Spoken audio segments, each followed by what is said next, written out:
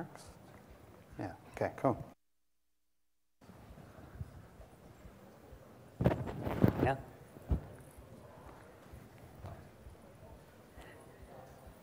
Oh, hello everybody. Uh, how's it going? Well, today we're going to talk about uh, deploying OpenStack with Ansible, um, and in particular, uh, what we're doing with the OS Ansible deployment project and how AURO is uh, deploying their public cloud using Ansible. So let's, uh, I guess, get started. So a little bit about myself. My name is Kevin Carter. I uh, work for the Rackspace Private Cloud. I've been working for Rackspace for about four years now. Um, and I'm on the development side of the Rackspace Private Cloud house, and this kind of surmises who I am in a nutshell. Uh, but anywho, um, we are uh, attempting to deliver uh, OpenStack to our customers in a, uh, in a very easily and consumable fashion, and Ansible allows us to do that. Um, Curtis? Uh, yeah, and my name's uh, Curtis Collicutt. I work at AURO. Um, we have a public cloud in, uh, based out of Vancouver, actually. I'm actually from Edmonton, so across the mountains uh, in Alberta. And um, yeah, I'm interested in, obviously, OpenStack. That's what I do for a living, basically, uh, information security. And uh, on Sunday, I was programming a film festival for the first time, so that was something new that I was doing on Sunday, and today I'm here talking to you guys, which is also new. So uh, thanks. But I'm just going to let uh, Kevin sort of go through his piece, and I'm going to sit down, and I'll come back up for my piece. So thanks. So to start off, you know, I'm going to call out uh, Robert Caddy. I don't know that you're in this room or anything, but uh, this was up on Twitter. Um, and I uh, just kind of want to highlight this is the fact that OpenStack is cloud infra, and cloud infra is hard. And uh, there's a lot of people out there who are saying that they're making OpenStack easy or trivial, or uh, making OpenStack this, uh, I want to say, this unicorn that is capable of being able to be deployed anywhere for any reason for some magic purpose. And the reality is, is that OpenStack is very difficult. Um, and what we're attempting to do is actually make that process simple, right? We're not, we're not taking away the, uh, the fact that OpenStack is complicated and a whole bunch of different projects that are working together um, to achieve a common goal, uh, to, to, be able to deploy a, a cloud platform. Um, and so our, our end game using Ansible is to make that simple for you, but not to take away functionality of your actual cloud. And so I just I saw that quote on Twitter and I was like, ah, I must put this on the slide. Um, so um, what is OSAD, as we affectionately call it, is the OpenStack Ansible deployment project, and we're really about the deployer experience.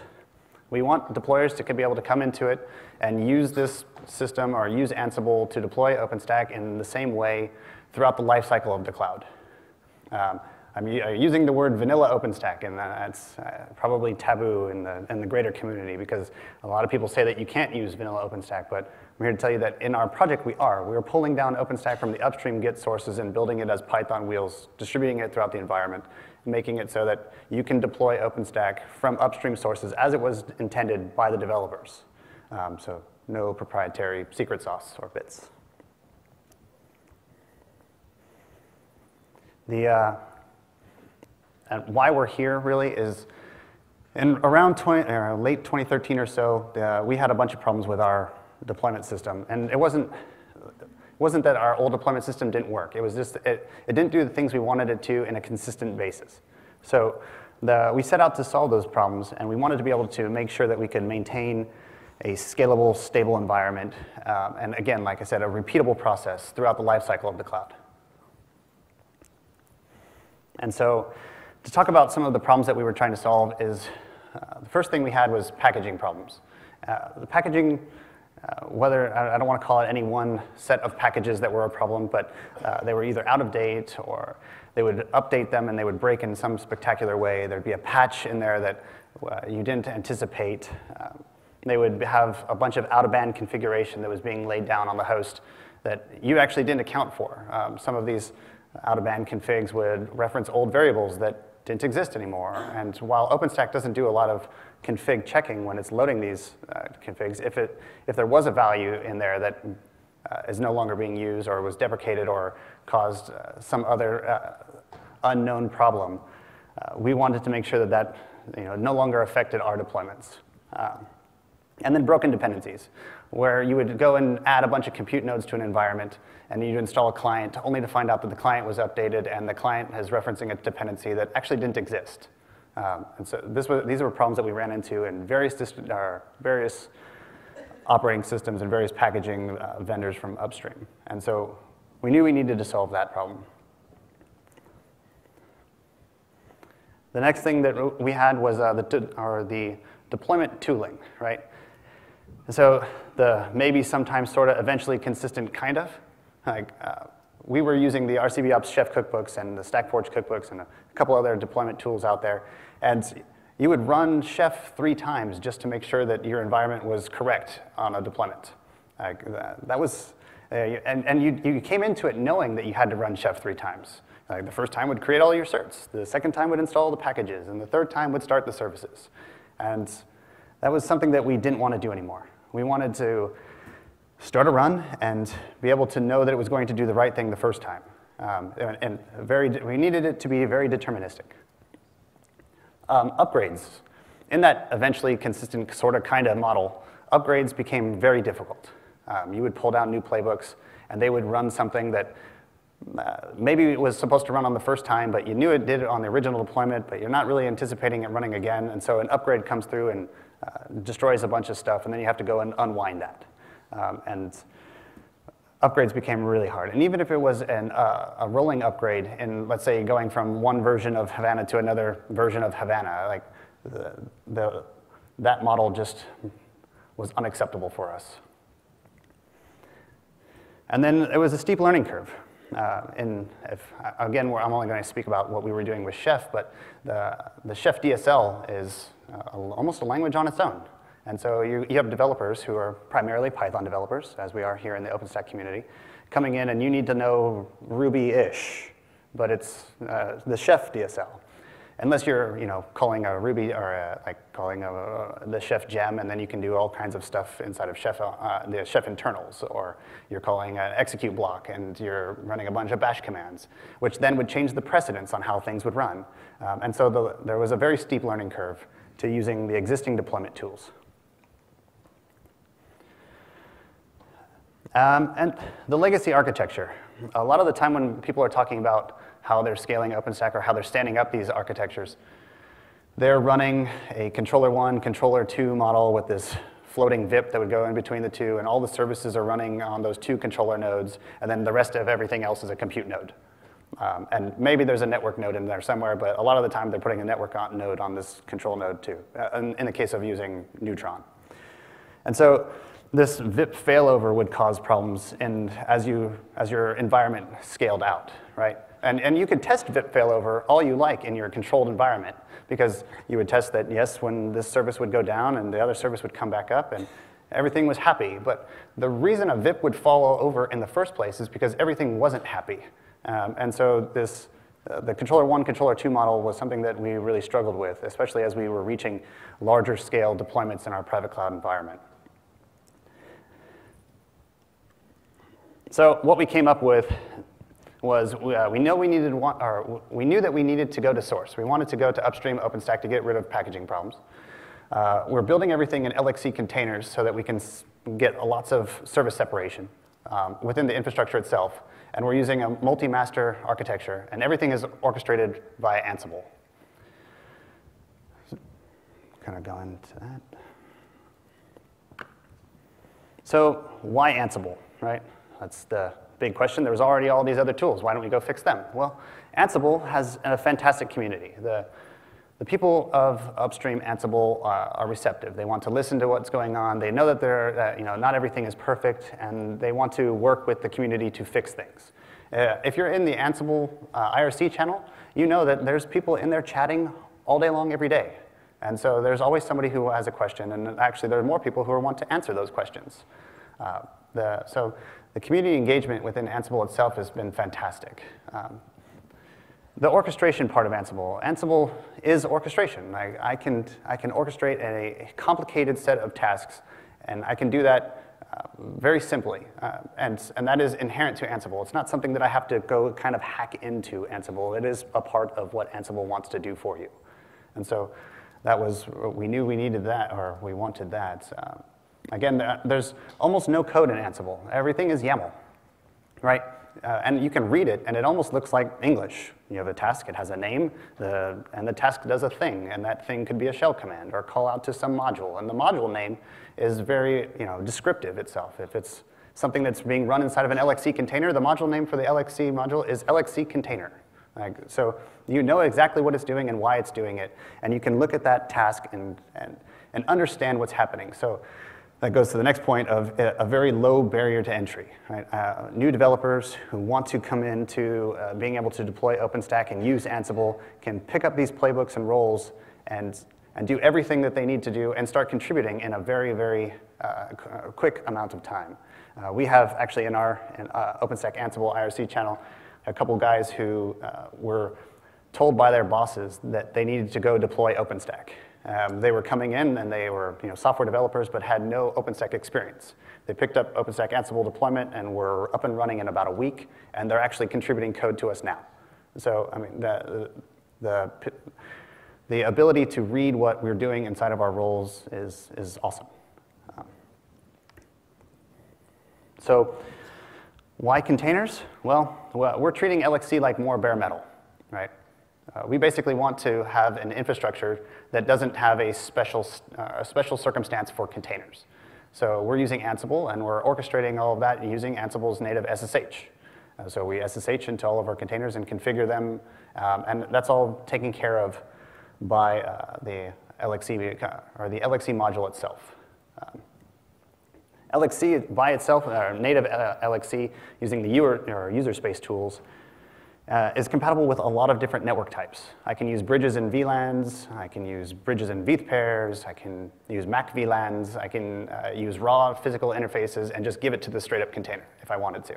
Um, and so that was amazing for us because we needed to be able to use these containers in an environment that we probably don't own, right? We're, we're as, as the Rackspace Private Cloud, we're going into a customer data center and setting up a cloud, and it's on gear that maybe we help them spec, but it's again their gear and their, their network stack. And so we needed to be able to integrate with whatever it was that they were going to provide us. Um, it also, uh, LXC supports LVM backend. Um, so I can build my containers in logical volumes, um, which is fantastic because that will provide me file system barriers between every single one of my containers and my host. I can also move that off into its own set of drives. Um, I can take snapshots if I want to work on a container. Um, and I, I, can, I have a lot of capability with that and it's stable. Our LXC containers, you know, like I said, we're treating them more, like more bare metal. So we can build our containers and know that they're going to do the thing that we've told them to for as long as they need to. But they're disposable resources. So if you know, troubleshoot something for 30 minutes, if it's not doing the thing you want it to do, destroy it, make another one. There's a good state that you can restore, you know, return it back to. You can also artifact it and send it off and over to a, some sort of a, like a lab environment and try to figure out what was really going wrong with that environment. Uh, and so uh, LXC's been very stable for us. So what is OSAD? Uh, as we have affectionately named the project, it is the OpenStack Ansible Deployment Project, which is up on StackForge. Um, again, we're using LXC containers to isolate components and services. And we describe the, uh, the OpenStack services that we're running in the various containers um, as components of the stack itself. We are, again, deploying OpenStack from the upstream sources. And so we're pulling down Git from git.openstack.org or GitHub. Or if you're in a, uh, inside of a walled garden, you have a, you know, a Git environment that you want to run, uh, or you can, you can pull your own source code and maybe do your own patches if you absolutely needed to. But the, the, the reality is that our only requirement is that we have access to something that is Git. And so that is a, easy to accommodate. Um, it runs on Ubuntu 14.04 currently, um, and we are building it for production. We have no secret sauce either. Um, yeah, just call that out. Uh, everything that we're doing is up on StackForge, and you know if it's uh, from the Rackspace side of the house, if it's not actually in the, our OpenStack Ansible deployment repo, it's in our RCBOps repo, which is open and totally public to the world. So we have nothing that we're doing that is uh, secret. Uh, and you could bolt on as much as you want. We have ability to extend what we're doing in OSAD already. Um, if you want different container types, um, a different service provider, a different backend, different, actually, an entirely different environment where you're how you're laying out your containers. All of that is available to you through the stack itself. And uh, we are trying to keep, keep it simple, stupid, um, throughout as we're, as we're going through and building our stack. But more, KISS is more, keep it stable. Uh, anywho, uh, in Ansible, if you're not familiar, Ansible has tasks, and inside of all of our tasks, we are tagging everything, everything, everything, everything. Um, so as an operator, you can come into your environment, and you, if you need to run one task to reconfigure something because you're, you're tuning it, you can do just that one thing. Um, uh, you can actually string a whole series of tags together and do just those series of things. But this makes it so that I don't have to just keep running, again, Chef client until I get my maybe kind of sort of eventually consistent model. I can do the thing that I need to do, and I can do it now. Um, we also are doing process uh, and service separation because of our container architecture. Um, and we are microservice-like where it makes sense, right? We're not using the Docker model in the sense that we have one PID running in one container, and we have three million containers who are making that all of our stack possible. Uh, you know, uh, our gate job is around 32 containers total. Um, and inside of each one of those containers, if there are services that want or need or like to be tied together to talk to each other within, or talk to the, the same thing with, or within the same namespace, we're going to do that because it makes sense. Um, so a little bit about the stack itself. We are using Galera like so many other people, um, and that Galera is being powered by MariaDB. Currently, uh, that's MariaDB 5.5 and Galera 3. Um, we're also using RabbitMQ, uh, RabbitMQ 343, I believe. Um, and we're pulling that down directly out, um, from the, the, the, the, deb package from uh, upstream RabbitMQ. And I'm calling that out the cheese shop, um, the PyPI index. So when you're using our environment, you are actually getting a, a set of Python wheels, uh, which is that compiled Git source code, uh, which is all running inside of this index in the environment itself. Uh, which makes it so that, again, you can deploy the same bits throughout the stack for the entire lifecycle of the cloud. You can also update it when you need to, and those bits will, again, live inside of your environment. Um, it's a very simple index, and it doesn't consume a lot of space. Uh, like the, the Kilo release is um, less than a gig. I, think it was like 900 megabytes of uh, Python wheels. So it's a, a, very, very efficient way of delivering the, the, uh, the compiled bits throughout the stack. Currently, uh, like I said, we don't really, are, we're on StackForge, and we're gating it through the OpenStack CI, which means that we get a performance 1.8 or an 8 gig uh, cloud server running on HP Cloud or Rackspace Cloud. But when we're doing these uh, gate jobs, we are building it as if it was a multi-node cloud. It just happens to be in one, one physical box. Um, we have the amount of containers that we would have in a multi-node cloud. So we're building a three-node Galera cluster, a three-node Rabbit cluster, two Horizon nodes, two Keystone nodes, a three-node repo infrastructure for our cheese shop index. We're trying to essentially make our gate job what you will see in production. Um, and we're using the Linux Bridge agent, which is Linux Bridge and VXLAN if you're using L3 networks. Um, OVS is, uh, is actually, you know, it's come a long way from where it used to be. And OVS 2.3 plus is actually, uh, you know, fairly stable and fast. But Linux Bridge Agent just works. So uh, we're, we've been very successful with that. As a community project, we, are, um, we have Juno, Icehouse, and Kilo. Um, and Kilo actually was released on April 30th, six hours after it was announced publicly from the uh, upstream OpenStack sources and the tags were dropped. Um, and since its original release, we've been tracking the head of the uh, stable Kilo branch for our Kilo branch as well. Um, and so in our supported releases, Juno and Icehouse, call them out, they contain a whole bunch of Rackspace isms, right? Because they was moved from our internal project up into StackForge. Uh, we didn't excise those code bits because we were relying on them. Uh, but in Kilo, we did. Um, so with that, uh, Kilo is our first community release. And as it stands right now, we have 41 contributors, and not all of them are Rackers.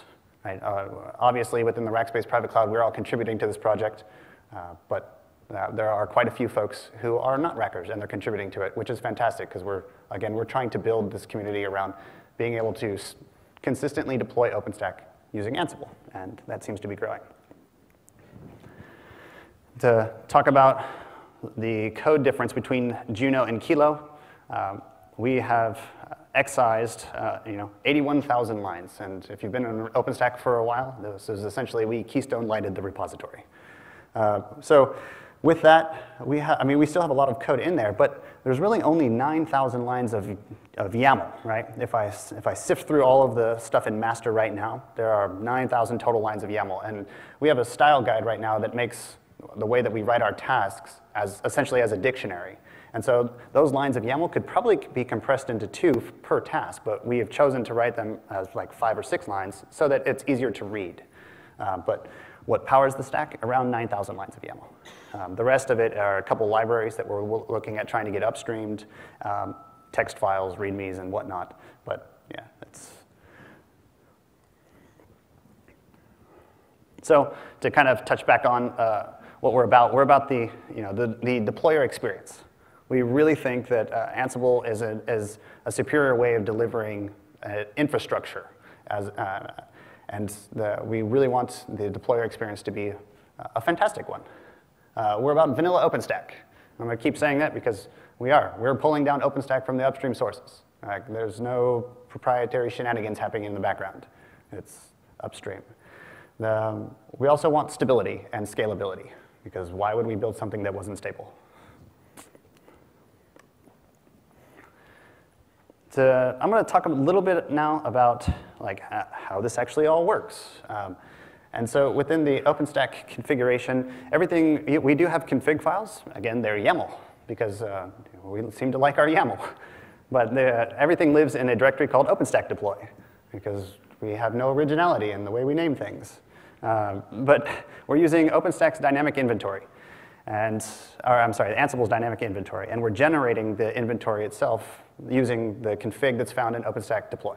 Um, and so this allows you to add more nodes, delete nodes, uh, add uh, tune variables, and everything else. It's basically the uh, stuff in OpenStack deploy is your window into uh, the Ansible inventory.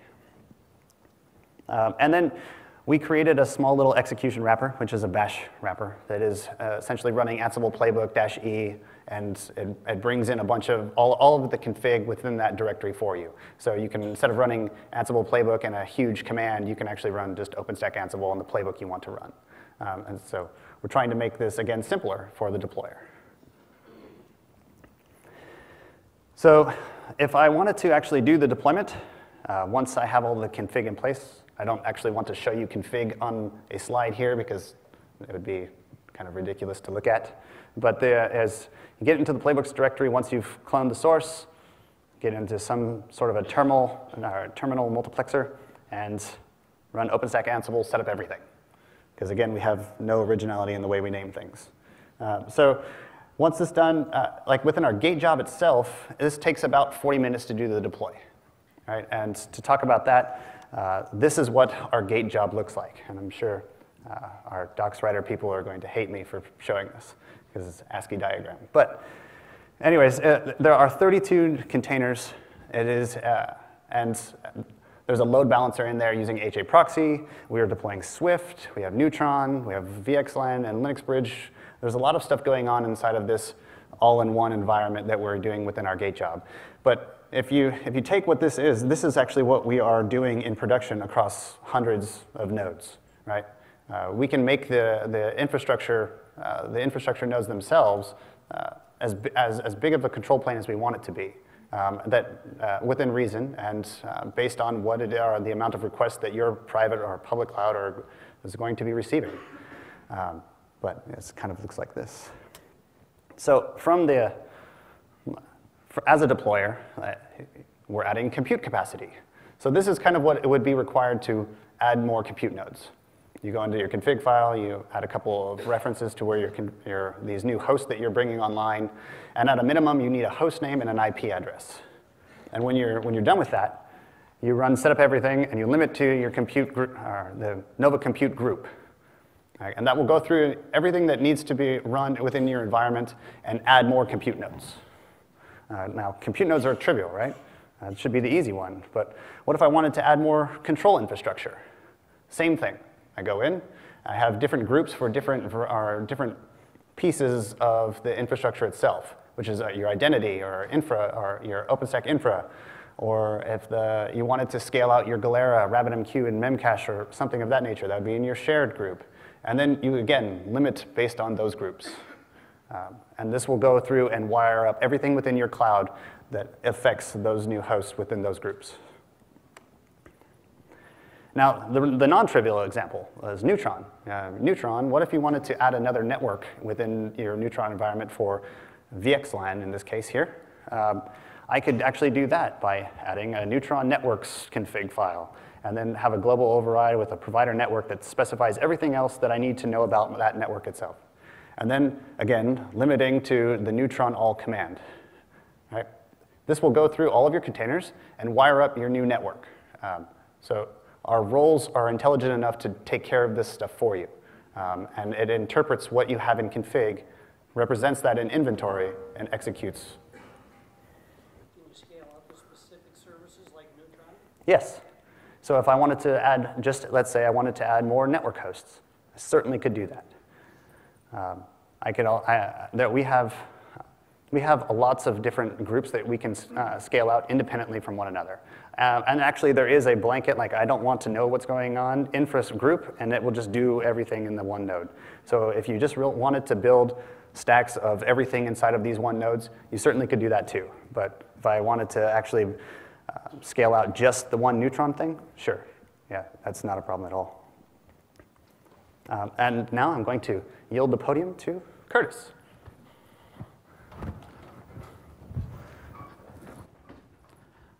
Hi.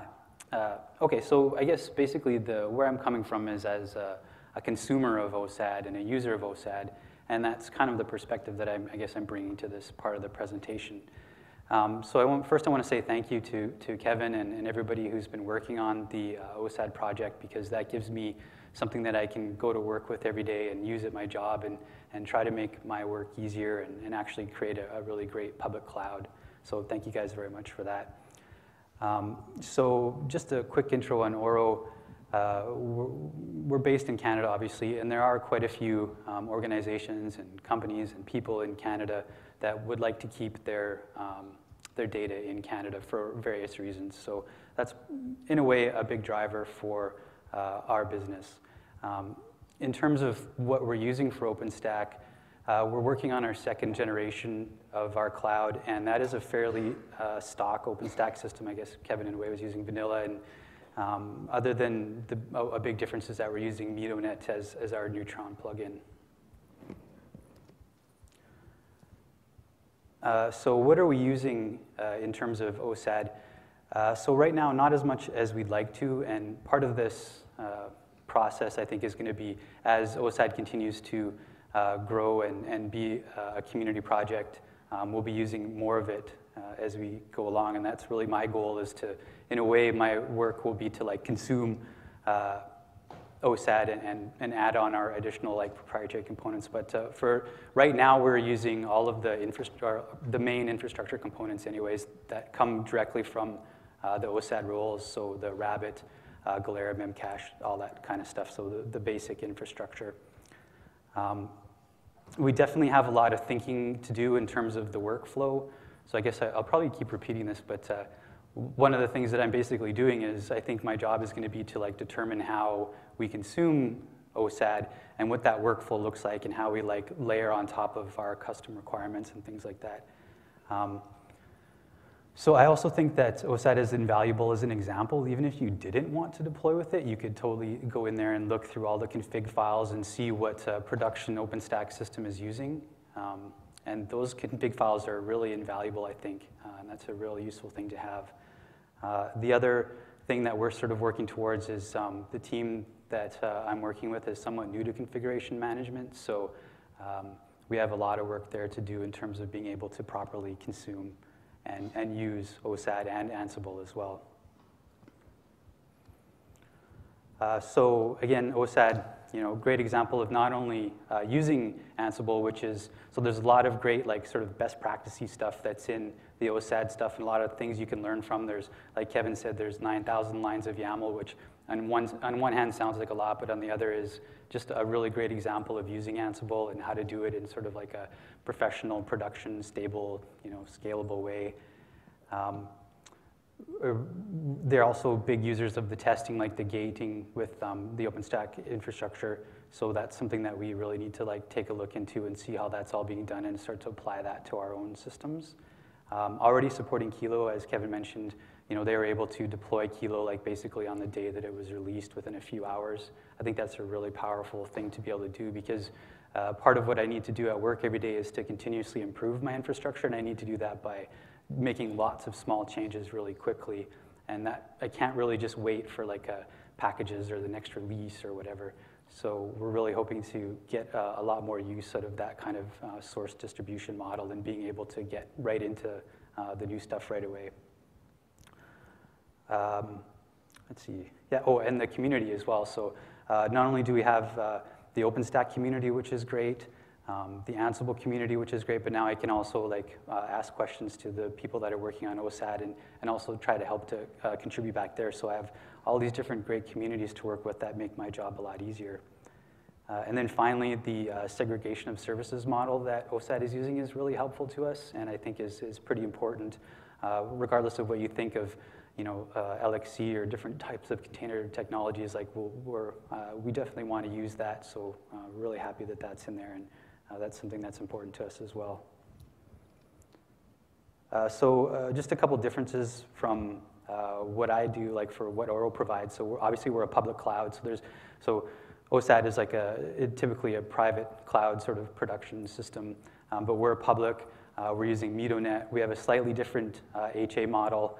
Um, that we're still working on improving. Uh, we also have to do billing, which is something that not a lot of uh, clouds have to do that are using OpenStack because most OpenStack, or many OpenStack uh, deployments are, are private, so you don't really have to worry about billing as much. But we have to do billing, which I think is a really interesting problem.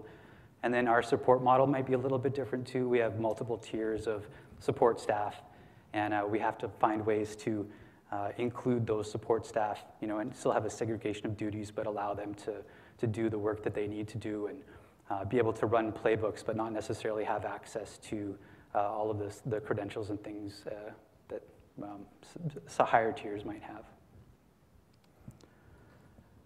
Uh, so I, uh, in some ways, I have some of my own guiding principles of using Ansible. So these are really my own uh, thoughts and problems that I'm still working on figuring out. So one of the things that I'm not sure about yet is uh, when to re restart services, services. So I haven't really settled on the whole handlers concept and whether or not that's great. I don't necessarily want to run an Ansible playbook, have it change a config, and then restart a bunch of services. So that's something I'm still thinking about. Uh, every task tag, so Kevin already mentioned that with OSAD and how that's really a, a, powerful system. It's something extra you have to do sort of with the Ansible playbooks, but it's really powerful to be able to only execute certain tasks in a playbook by tagging them. So uh, we do that uh, a lot. And also, through using tags, I can continuously run uh, playbooks like every half an hour, every hour, uh, either from something like Ansible Tower or Jenkins. I'm using both. And uh, based on those tags, I can run those jobs and have those executed uh, continuously. Um, I also think that installing OpenStack the first time is relatively straightforward, sort of. but then I have to operate that for like the next X number of years. And that's really where I really think that Ansible comes in uh, very helpful is that I need to orchestrate like maintaining that system forever, basically, until we deprecate it. And I've, I've been working in this kind of stuff for a long time, and I haven't deprecated that many systems. So, um, and again, like I said, to do lots of small changes faster and then, of course, you know, we, even though Ansible uses SSH, we don't really want people SSHing into boxes and doing stuff manually. So uh, we'll use Ansible to execute whatever work they need to do. Uh, so I have a few personal struggles too with Ansible. Uh, and again, it's not necessarily something that's wrong with Ansible. It's just that in some cases it's a little bit too powerful and it's easy for me to make uh, silly mistakes. So um, for example, there's a lot of idempotent modules, but then I can easily add like a shell script and, and mess all those up. Um, and then I can say it changed when never, uh, because I never like to see all the changes and be just like, oh, well, just changed when never, or false, you know, and then you never, uh, it always appears like nothing happened, even though that shell command or that other command could have totally done something. Um, multiple environments, I haven't totally figured out how to do multiple environments. I have one way that I'm working with it now, but that's something I'm really interested in figuring out. And then finally, um, you know, the Ansible reboot all, uh, which I don't know if anybody's ever done, but uh, I've seen a few examples on the internet of the same sort of concept where it's pretty easy to do that. Uh, but in a way, because Ansible is so powerful, right? Uh, so in the near term, uh, with our deployment, we want to be able to deploy OpenStack from source, so we'll consume that model from OSAD segregation of services. Again, OSAD is going to help us with that. We need additional monitoring. Who doesn't need more monitoring? Um, Ansible callback plugins, I find those to be really interesting because I'd like to know when a, when a job creates changes or causes changes. And in order to find that out, one of the ways I've been doing that is to have a callback plugin that says, okay, that when this playbook ran, it caused a change and that goes into our Slack channel and then lets me know that there was an actual change uh, when, a, when one of the automated jobs runs. Um, I need to learn a lot more about the OpenStack uh, infrastructure and how testing is done there because that's how I'm going to be able to operate uh, our OpenStack cloud over time is by doing a lot of testing. And then I could really use a couple modules, uh, specifically MidoNet and Swift for doing some backup stuff. Um, so finally, or some comments, ideas. Uh, how is how are we going to consume OSAD? Like, how do we make it pluggable? Whatever pluggable means. Like, how do I layer my custom requirements on top of that? You know, what kind of HA model can we sort of insert into OSAD, and can I use? Um, you know, I'd like to get to some sort of ECMP, BGP style load balancing. How do I balance uh, community roles and playbooks with our custom requirements? And then you know, like that whole process is about how do we consume uh, OSAD and stick it into our workflow and processes. Uh, so some thoughts I've had about configuration management in the future and using Ansible is I have a real hard time with secrets like uh, passwords and stuff like that. How do we properly do that when you have so many variables? Where do those variables come from? How do I store secrets properly and uh, avoid the whole like, oops, I checked it all into uh, Git? Uh, now what do I do? um, continuous integration, uh, you know, like uh, a lot of our, like I said, a lot of our stuff is going to be running from Ansible Tower or Jenkins or both. So how does that work in? And um, caching of uh, dynamic inventories. I think Kevin was mentioning there's going to be some work in dynamic inventories. Where does that information come from? Um, what is the future of config management? I don't know. Um, but it's got to be more than just installing packages, setting up a config file, uh, starting services, and then like occasionally some bootstrap stuff. And then uh, for a big part of having a public cloud and having to deal with things like ITIL and stuff like that is some sort of change management process. So how do I use Ansible to uh, provide, you know, to, to work with that sort of change management workflow and figure that out? Yeah, so I guess Kevin will come back up here and um, finish this off. This thing on? Yeah. So now, just to kind of uh, build on to what Curtis was talking about, is where do we go from here, right? That's, uh, we want to increase the community participation within OSAD itself, right? Uh, that's what communities want. We want to grow. We want to make everything better. We think it's pretty good now, but we know it can be better. Uh, uh, so pull requests are welcome. If there's a bug, fix it. The, um, we also want to build out more of the operational modules. We're carrying a few modules in our stack currently, uh, whether that be for Neutron or Glance or something like that. And we think that that's, that, that code lives in core Ansible. And we've had some you know, uh, conversations in the Ansible collaboration day that we had yesterday about how we're going to do that and, and how we can you know, move some of that functionality into the upstream code so everybody can consume it in a, in a more, uh, more organized fashion. Um, like Curtis said, um, the dynamic inventory, uh, having multiple backends, right? Uh, Ansible's inventory is historically a static file or some custom database somewhere that, uh, that you set up yourself. And uh, we think that there's some improvements that we can make in that space. And you know, where do we go from here? Uh, we don't know all the answers to that question yet, but uh, it's going to be a journey, and we think that, we'd love for people to come along with us. So, you know, to open that up, you guys have questions? And hopefully we have answers. And if you have a question, step up to the mic. Yeah.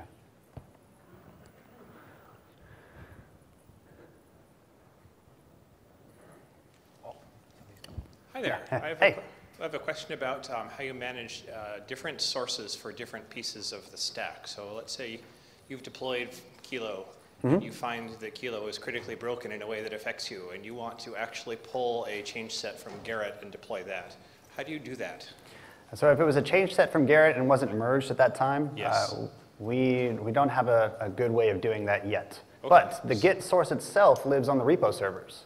Um, and so you can go check that out. Um, Sure. we don't have an automated way of doing that. Okay, but so you can, you can at least have a separate Git source for each component then, so you can say, I want to pull heat from my local Git repository and everything else from the git.openstack. Yes, yeah, you could totally do that. Okay. Um, and you can, you can do it on a tag, branch name, or SHA. And actually, what we have upstream is all SHA based. Okay. Yeah. And one last quick question. Sure. Can it run, can it pull configuration from something, from somewhere other than Etsy OpenStack deploy? Yes, yes, you can. Um, so the OpenStack Ansible wrapper will source what's inside of OpenStack deploy. But if you have additional config that you want to put somewhere or encrypt using Ansible Vault, you can pass those values to it, no problem. I, I'm not, I'm, let's, I guess the question was more along the lines of, I'm not, I'm not root, I'm not storing anything in Etsy, I'm storing it in a local directory other than Etsy. Can I say, can I tell Ansible deploy, deploy, use this directory as your source of everything? Uh, yeah, actually, you could do that. Uh, you would have to make two changes. One would be in the dynamic inventory pie that we're carrying, and the other one would be in the OpenStack Ansible wrapper. Okay. And those would, you just point at those two locations. Okay. Yes. Cool. Thank you. Yeah, no problem. Thank you. Uh, there are at least two T-shirts going around now that say, "But it worked in DevStack," Yes. um, which is one of the top three reasons that I, as a developer, hate DevStack. Yes. Um, and I know you I have that shirt. I love it. yeah, that OSAD doesn't have, doesn't currently understand the all-in-one deployment. Are there plans, like I know obsoleting DevStack is a holy war, but are there plans to sort of creep into that arena so that I can deploy OSAD locally and develop on it, and I don't have to tell my operations guys it worked in DevStack? I can say it worked in OSAD. Yes. Uh, I won't say that we're encroaching on any of the DevStack territory because I don't want to be, you know, put up on a crucifix somewhere.